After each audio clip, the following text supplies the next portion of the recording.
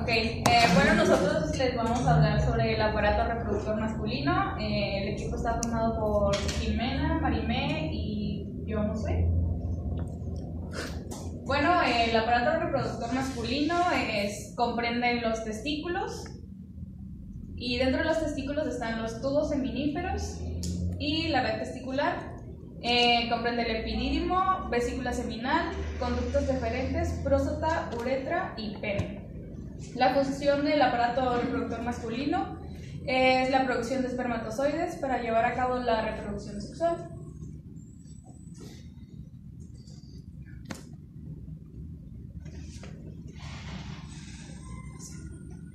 Bueno, aquí les quise poner una imagen para que ubiquen más o menos de lo que les voy a hablar. Esto es un testículo. El testículo está rodeado por la túnica albúgena, que es esta. Eh, dentro del testículo están los tubos seminíferos y obviamente aquí no se van a observar como tal. Y la red testicular. Esta red testicular se forma eh, por los tubos seminíferos estos tubos se van haciendo como tubos rectos, bueno, se van haciendo tubos rectos hasta formar la red testicular cambiando el epitelio. Y bueno, el epidídimo es donde se guardan em, los espermatozoides. Bueno, eh, como ya sabemos, los testículos son órganos pares, eh, ovalados en anfibios, anuros, reptiles, aves y mamíferos o también pueden ser, pueden ser alargados, fusiformes, como en peces y anfibios. Rafa está afuera, creo que lo está buscando. Ah, bueno, eh, los Continúen. están de tejido conjuntivo denso. Como ya les mencioné, es la túnica albúgena, es esta. Y también leí que mm, la parte de aquí, como lo que se separa, es la capa vaginalis, y esta, también se presentan trabéculas que van hacia el interior del testículo, que le dan soporte. Bueno, estas serían como las trabéculas. Y dentro de las trabéculas están los tubos seminíferos, que son el lugar del testículo donde se lleva a cabo la, la espermatogénesis. Bueno, los tubos seminíferos están rodeados por eh, tejido conectivo laxo lo compone el epitelio germinativo, que sería las espermatogonias, que están en la periferia, los espermatocitos primarios, que serían estos, que son células más grandes, y los espermatocitos secundarios serían como estos, tienen la misma, la misma forma, pero solamente cambia el tamaño. Los espermatocitos primarios son más grandes y los espermatocitos secundarios son la mitad del tamaño de estos. Y las espermátidas son estas, tienen muy poco citoplasma y son muy basófilas y son pequeñas. Y bueno, si aquí se vieran bien los, los flagelos, serían los espermatozoides. Bueno, también están las células de Lady, que se van a caracterizar porque están fuera del, del tubo seminífero. Y estos son ovoides o irregulares, tienen núcleos esféricos y el, citoplasma está finamente granulado. Pues lo encontré así en la literatura, pero en esta imagen pues, no, no observé que estuviera tan granulado. Y bueno, son estos. Estos, estos, estos y estos. Y las células de Sertoli que están dentro de, del epitelio germinativo, que son, sus núcleos son basales, claros y esféricos y pueden tener de uno a dos nucleolos. Y esta sería una célula de Sertoli. Aquí está su nucleolo.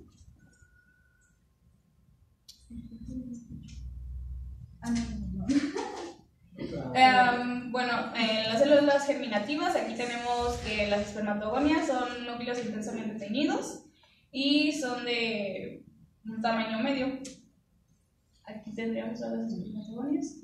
Y espermatocitos primarios y secundarios, sus núcleos y células son grandes. Bueno, los espermatocitos primarios son grandes y los espermatocitos secundarios serían em, menor, del doble tamaño de estos. O sea, más chiquitos que los espermatocitos primarios. Y pues los dos tienen este, gránulos en el núcleo. Ah, y este sería un espermatocito primario. Y estos serían espermatocitos secundarios. Eh, pues sigue siendo como iguales, pero estos se ven como más, mm, más moraditos y más pequeños. Las espermátidas son células muy pequeñas con poco citoplasma, que son estas. Y los espermatozoides van hacia la luz, pues serían como pues, estos.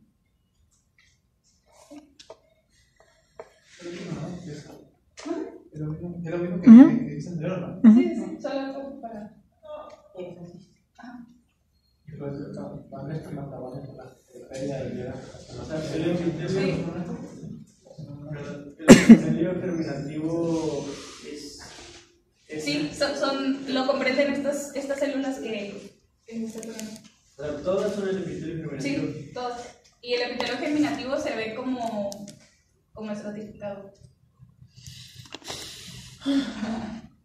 Se ve como se... Dejémoslo así. Dejémoslo así.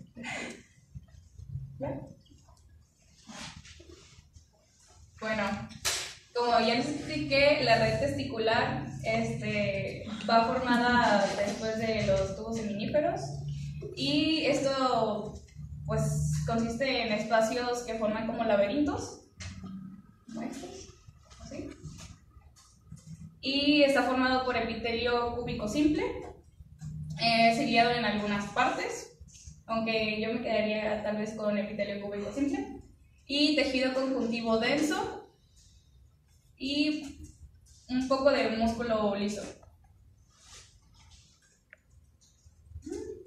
Bueno, está el ependidimio, que ese es un tubo con... ¿Qué? Ependidimio. Ependidimio. ¿Qué? Ya, esta, eh, que es un... ¿Cómo se llama el órgano?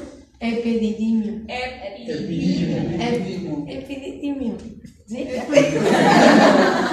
Continúa, Marina, continúa.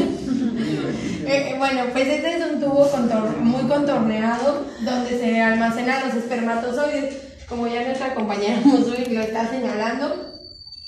Y este está compuesto de un epitelio cilíndrico, cilíndrico pseudoestratificado en, la, en las que presentan, como ya lo sabemos, las células principales altas y ciliadas. Igual en algunos casos presenta igual de, células basales y está todo rodeado por un tejido conjuntivo denso. Y este igual presenta una capa muy delgada de músculo liso, que está igual.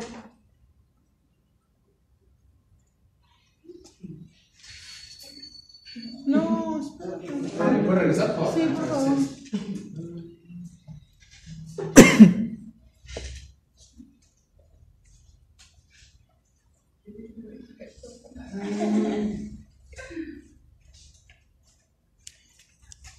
¿También le puedes regresar una más? Sí, rápido. ¿Cómo quieres? ¿Está? ¿Listo? ¿Ese ya está o...?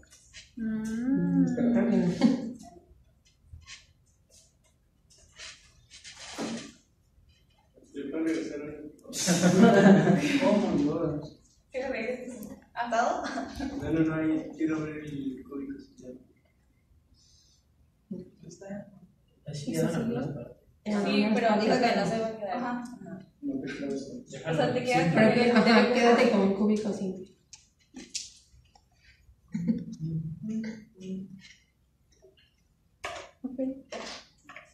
Eso también, ¿eh? Adelante. Bueno, se divide en tres capas, como ya hemos dicho, la mucosa, muscular, adventicia. Y bueno, la mucosa es el epitelio pseudoestratificado cilíndrico. Mm, y la lámina propia forma pliegues longitudinales que le dan luz al contorno regular. Pseudoestratificado. Y la, la muscular es una capa circular rodeada por capa longitudinal externa, que es esta de acá. Y la adventicia es tejido conectivo denso que se transforma en laxo y es tejido continuo. La mus ah, Ah, no tiene capa submucosa. No tiene capa submucosa. ¿Cómo está el músculo del conducto deferente? Circular. ¿Sí, no? Sí, capa circular de. ¿Lo tienes apuntado en el dedito, Jimena? No, estaba pensando en la forma. Viene en la fotografía cómo vienen las capas de músculo. Ah, longitudinal y circular. Longitudinal interna, circular media y longitudinal externa. Son tres capas de músculo, dos longitudinales separadas por una circular. Es que no se llega a ver bien, pero esa es la longitudinal, aquí hay otra longitudinal y esa es la circular. Ajá. entonces la muscular es la que tiene longitudinal y ¿o cómo? Es longitudinal, circular y otra Longitudinal, circular y longitudinal. ¿La pueden repetir otra vez? La. ¿La pueden repetir otra vez? no? O sea, está la longitudinal, Circular circular y longitudinal. No, circular, longitudinal y circular. ¿no? Longitudinal, Al revés. circular. Uy, Está bien. LCL. Longitudinal, circular, longitudinal.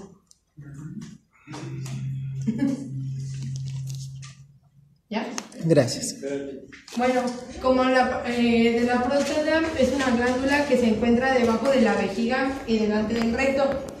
Este presenta un epitelio cilíndrico pseudoestratificado ciliado, como las células cilíndricas que están pseudoestratificados y presentan cilios. Este se consiste de 30 a 50 glándulas tubalolares que están compuestas, que cuyos, que cuyos productos de secreción se recogen en los, en los, en los túbulos colectores, ya los había explicado. Y este, su principal función es fabricar todo el líquido de prostático que protege a todos los espermatozoides, que ayudan a aumentar la posibilidad de fecundación.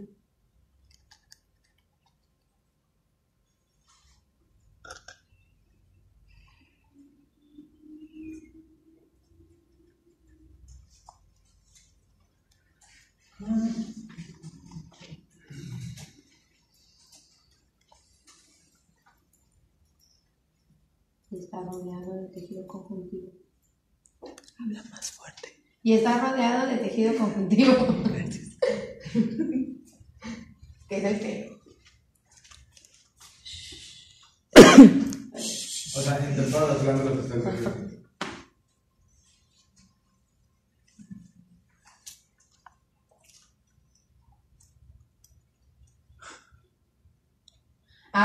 Ah, igual les puse otra imagen del el tipo en el cual se muestra cómo están acomodadas las células en su epitelio cilíndrico estratificado, igual que muestran todas las. las los cilios, ajá. Y igual tienen una lámina propia de tejido conjuntivo.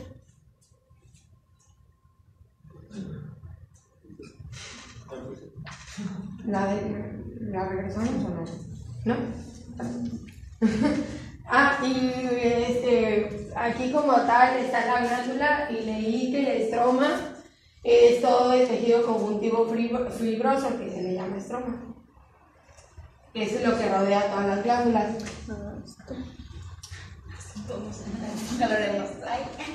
Todo esto es el estroma, que tienen y esta es la glándula.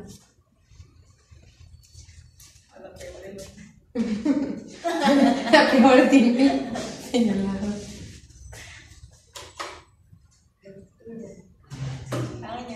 Ah, y está la vesícula. ¿No?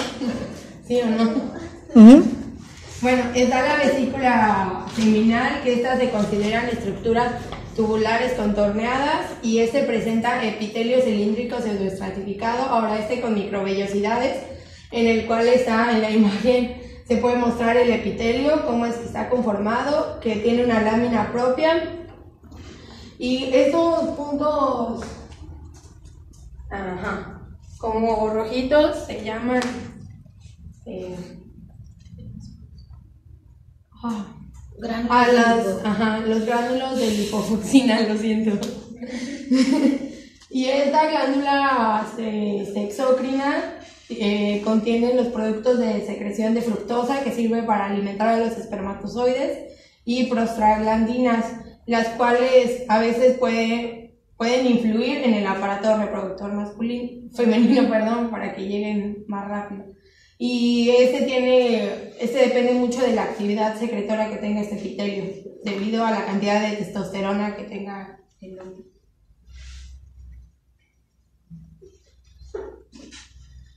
Ah, y aquí les puse dos imágenes. Igual este tiene, tiene capa mucosa, muscular y capa denticia. Y este aquí tiene igual, como ya lo habíamos visto, dos musculares. Y aquí está la luz. y en la de arriba se ve bien cómo es que están estos tubos secretores y la cápsula que lo rodea de tejido.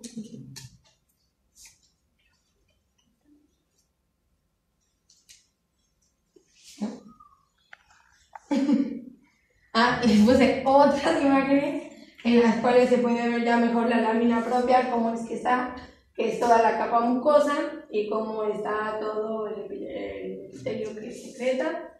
Igual tiene muscular circular y muscular longitudinal en la capa muscular.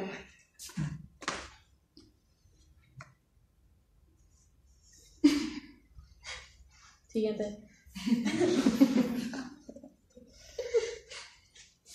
Bueno, seguimos con las glándulas bulborrequilia que se encuentra esta de aquí.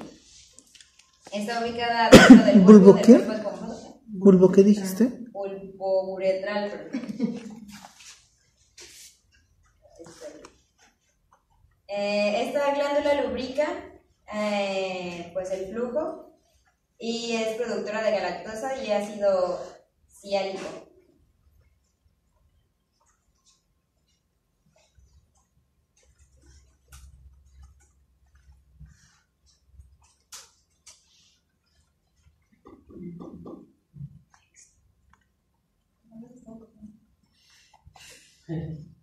Bueno, aquí vemos las glándulas. También la verdad me costó mucho trabajo encontrar una foto de este. No encontraba y bueno, eh, eh, lo encontré aquí, las glándulas, y pues encontraba más de uretra. Y la verdad, las glándulas hasta ya no sabían si era de esto, ya hasta que vi que decía próstata y dije, ah, bueno, a lo mejor es- Son esas. Sí. Pues es que no sé. No sé qué. Mucosa.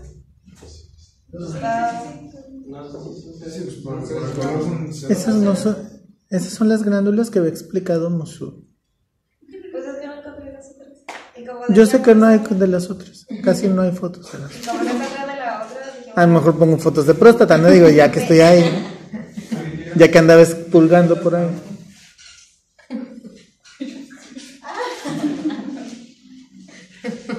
Avanza porque estás confundiendo. Ese también es próstata. Ya sé, pero no tienes que rellenar un tejido con otro. No hagas eso en el examen tampoco.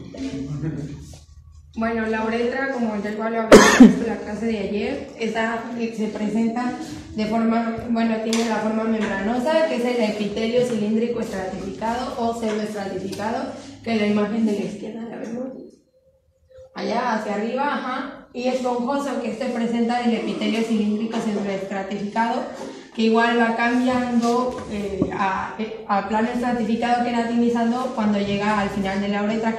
Este lo vamos a identificar más por de dónde es donde proviene, o sea, no, no puedes no puedes identificar como tal cuál es o cuál es si no sabes de dónde de dónde viene el corte.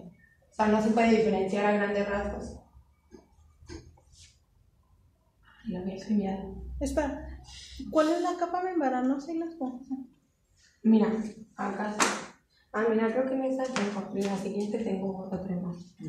Mira, la membranosa es donde presenta este epitelio plano estratificado. Ah, ok. Y la esponjosa es del otro lado. Ajá. O sea, cuando va cambiando ya el tipo de epitelio. Puede empezar con el- pues,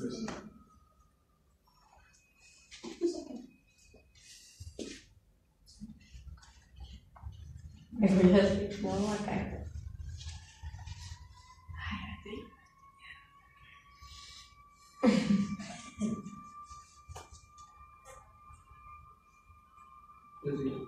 Espera, no, no. Sí.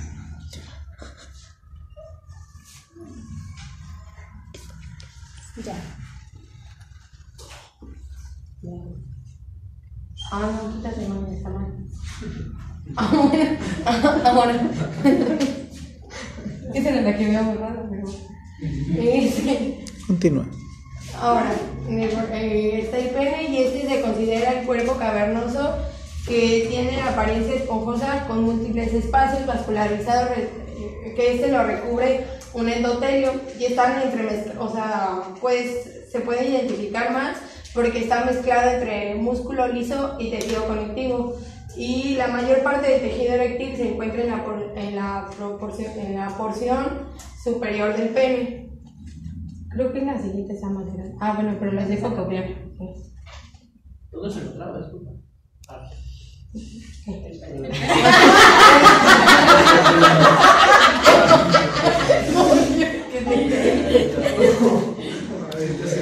Es que ya tenemos hambre, pues. Y yo, Sin algo. No, güey, pero creo que se encuentra la, la de la porción superior, ah, porque abajo está lo de la letra. No me expliqué bien. Ya avanza la que sigue. Bueno, está el corte más grande, en donde esta presenta una túnica al- albúgina y está el cuerpo cavernoso y el cuerpo esponjoso. Y aquí pues todo el corte de pliegue que la rodea y en el cuerpo esponjoso que se encuentra la uretra. Y ahorita a continuación, Jimena les va a explicar qué diferencias hay entre el cuerpo esponjoso y el cuerpo cavernoso. Bueno, el cuerpo cavernoso está formado por tres cuerpos cilíndricos. Eh, y es tejido cavernoso eréctil. Eh, dos cuerpos cavernosos en el pene, que son estos dos. Y un cuerpo en la uretra, que es este de aquí abajo. Mm, siempre es eh, de espacios irregulares y está rodeado por una cápsula fibrosa, que es esta de aquí. Y bueno, es, es una túnica albúgina con fibras de colágeno. Aquí está ya los. Bueno, ya lo habíamos puesto anteriormente. Aquí está el cuerpo cavernoso.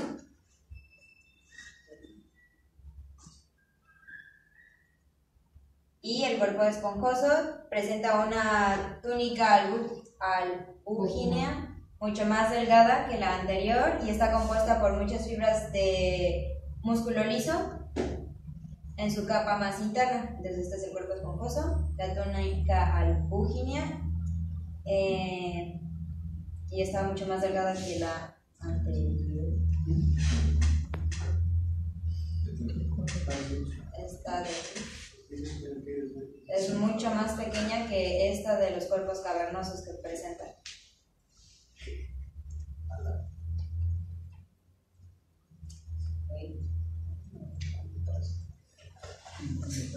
Ya, ya, ya, perdón. Me siento por el salto, perdón, perdón. Bueno, ya, está los, el espacio. El, bueno, es el cuerpo esponjoso en realidad.